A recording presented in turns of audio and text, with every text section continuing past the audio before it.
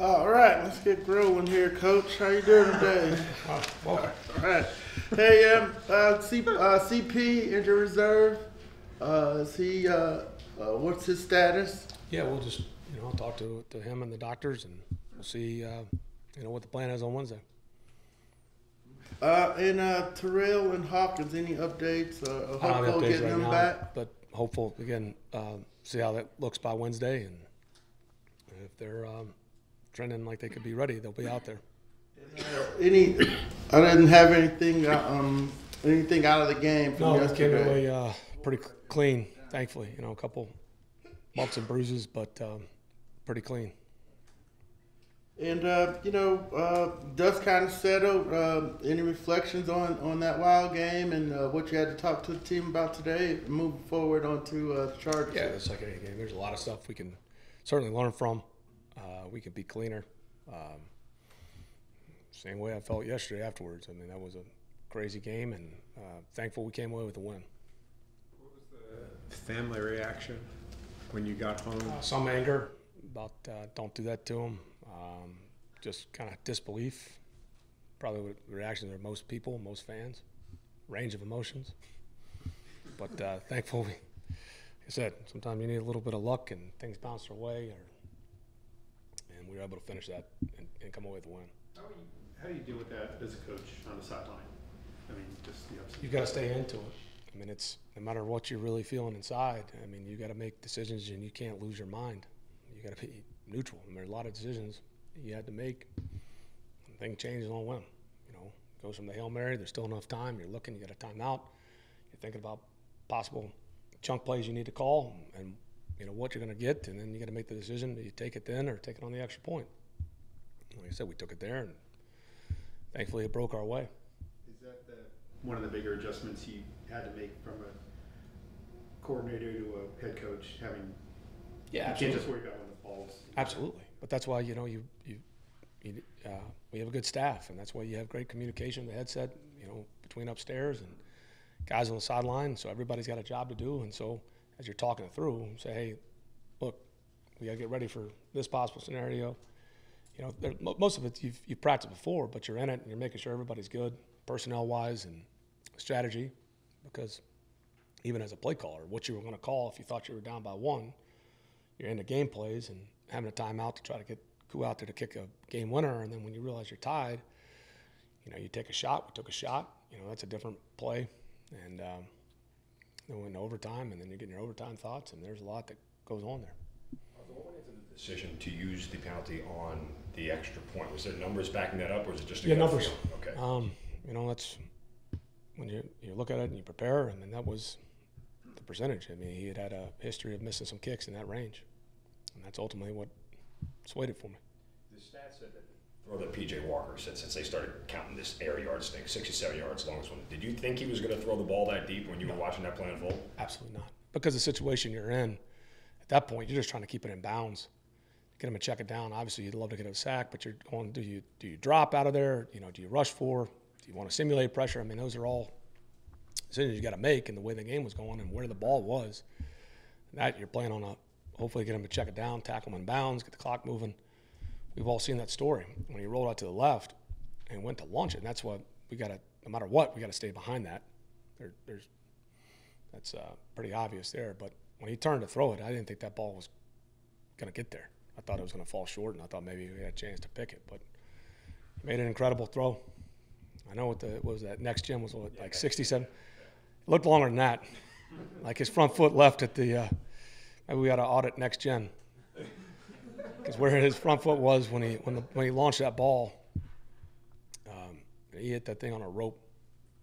How, how much in tune are you to like the emotions after a play like that? Emotions of guys on the field, on the sideline?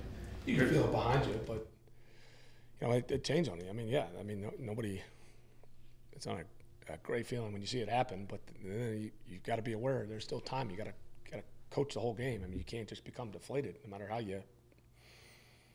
Whatever emotion you feel, because it just on a whim, Jeff. You know, you make the play. uh, It, you can't let it snowball on you because there's still time left in the game. And then you're, you know, you're weighing. You see the flag. I saw him take his helmet off. I saw the flag, and then that's when you start thinking, all right, we're going to use it here, use it on the kick, you- kickoff.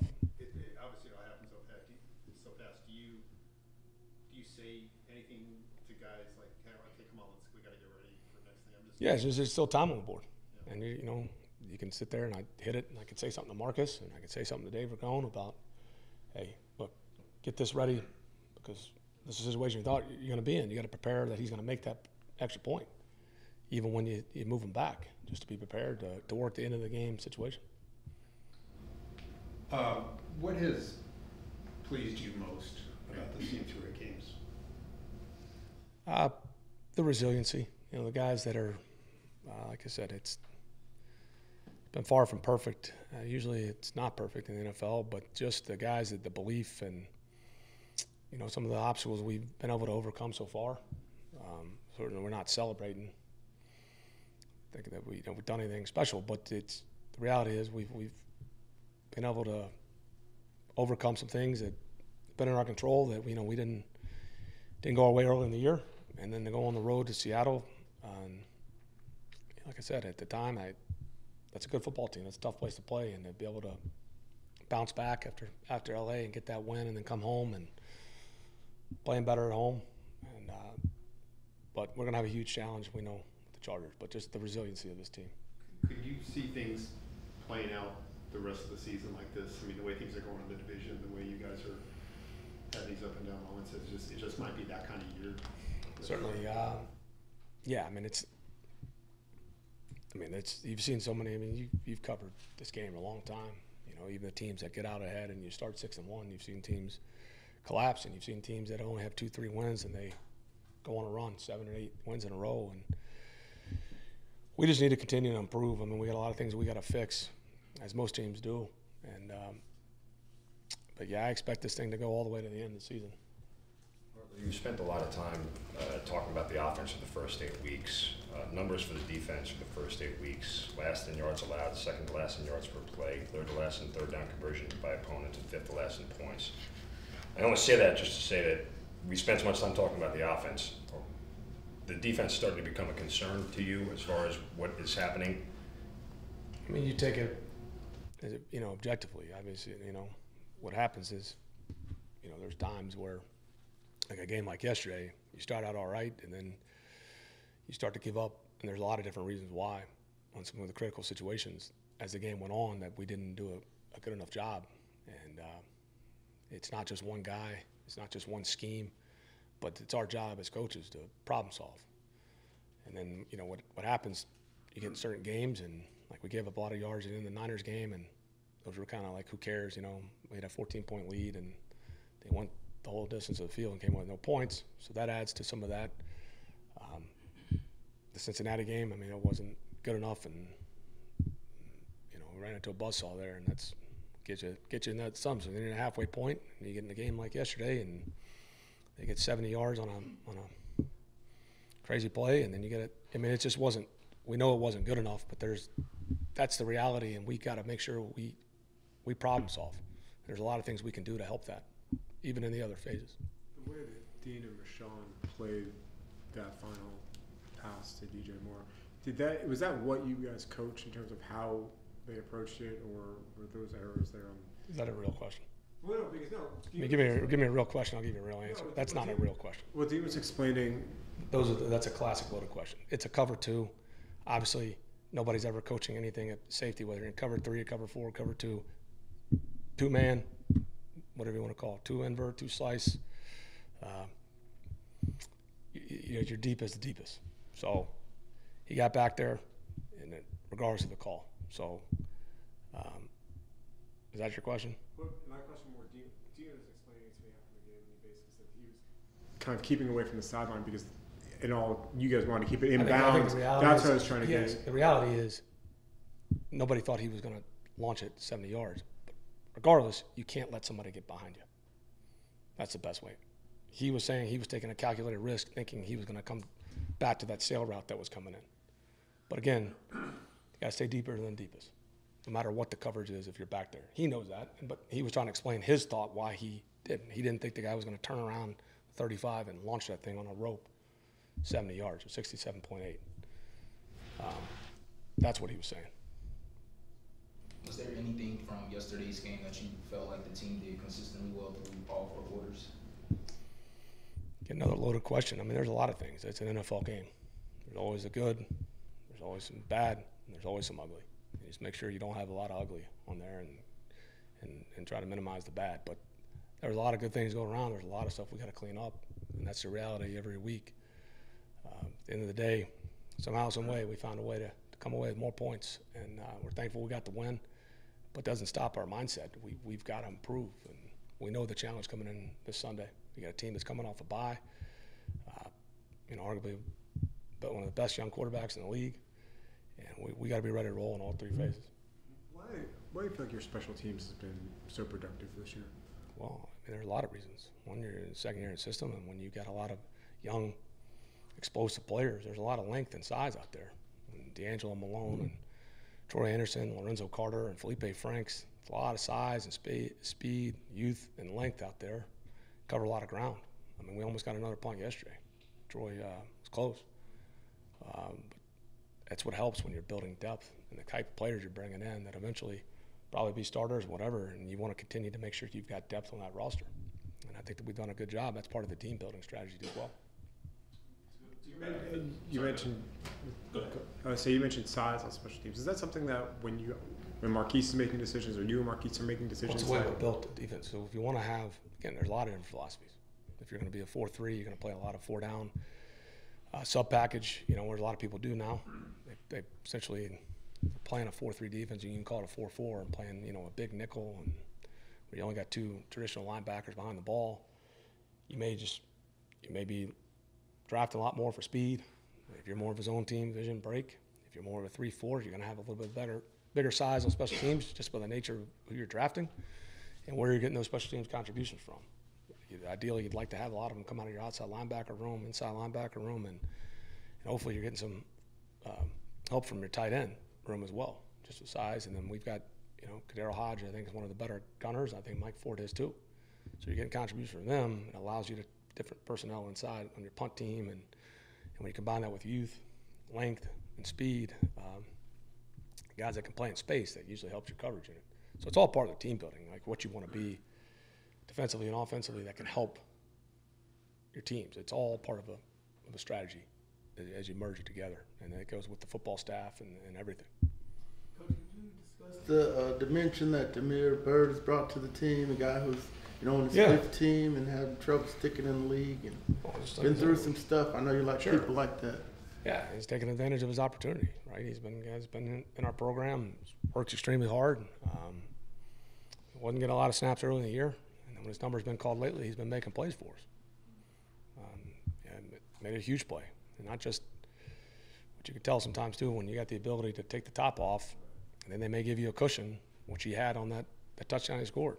He was able to snap down, come back, did a great job with- with the run after catch. Kyle made a good decision you know, when he comes in there and underrated, it's kind of a no-brainer, but he's able to make the smart play there, and Drake's able to finish, no one to let go, and, and Damiere was able to put his foot in the ground and score. It seemed like uh, Marcus had a lot more success passing in kind of off structure situations. Uh, I don't know if that lines up with what you saw in film. Uh, I just remember there was one to Drake kind of toward the end. There was one to Yeah, that was the one that was off schedule. A lot of the stuff too we were doing, and that's part of the game plan. And we showed something we hadn't in a while, uh, the things we were doing with some of the motions and clearing it out. He was able to progress and get down to him. Some of them were progressions, like the one he hit to Hesse, the one he hit to Oz, the one he hit to Kyle in the flat. Uh, now the one to Drake was off schedule. And um, but that's that was a good job. I mean, I thought our tackles played really well yesterday. They kept them clean. And like I said, when they rush and they kind of try to rush you down the middle or heavy, he was able to get out and extend that play and flip his hips around. And, and Drake did a nice job coming back to him on that one for sure. I thought he made some good plays on the play action. The one he had to Kyle on the first touchdown drive and the and the, the pop pass we hit Kyle on. So there's a lot of different actions. I mean, even the one he had on the keeper kind of got got us going too. Uh, I believe it was to Byrd. Burns was chasing him down and able to, to make that throw on the run. Uh, so there was a lot of different ways. Uh, certainly may have looked that way, the way he was playing in the pocket. I thought he progressed pretty well, though, too. See Very him encouraging. make those plays. Very encouraging. I know you focus so much week to week because the opponent and things change. But do you, are you the kind of coach that takes stock in where you started, where you are, you plead, like, are there areas you look like we're ahead of schedule, we're behind schedule with things, or you're not in that I don't know if mind it's frame? a, it has a schedule. No, it's a good question, but it's it's more about the progress, right? And uh, and anticipating how you know. I mean, you're you're an idiot if you think somebody's not going to adapt to you, and you're you're arrogant. Either one's a good look. So you know, you know, if you're having success in the run game, okay, what are you doing well? Well, you, well they're going to make damn sure to try to stop that. Okay, what are you going to do to counter that? That's what I was pleased with yesterday. I thought we were able to counter some of that and showed some different things that I thought helped us. Uh, certainly wasn't perfect. Uh, so you're always, yeah, tracking your progress. Always stuff we got to work on. Kind of along those lines a little bit, you have a lot of new players again, like last year. You got a lot of guys on one-year contracts again, like last year. Why do you think, how do you think you've had the level of buy-in that you've had, that a lot of teams that rebuild and this kind of thing, they all say the same thing, but sometimes they're not four and four, eight games into the season. Why, why do you think it's worked here so far? Yeah, I mean, I've got my theories, but I don't want to sit there and, and sound like I'm trying to like pat myself or pat all of us on the back. You know, we just got a lot of good guys, and um, we've got a, a stable situation, and then hopefully we can continue on this path.